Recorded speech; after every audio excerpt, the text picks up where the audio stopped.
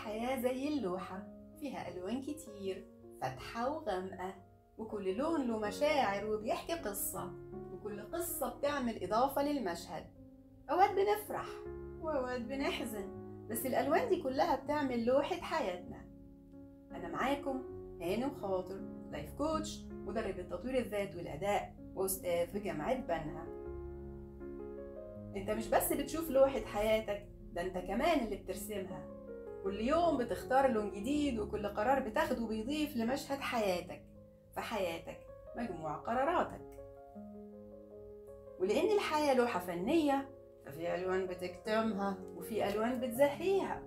فما تخليش حد يرسم لك لوحتك لأنه قد لا يملك إلا اللون الأسود. أنت المسؤول عن لوحتك فارسمها بالألوان اللي بتحبها.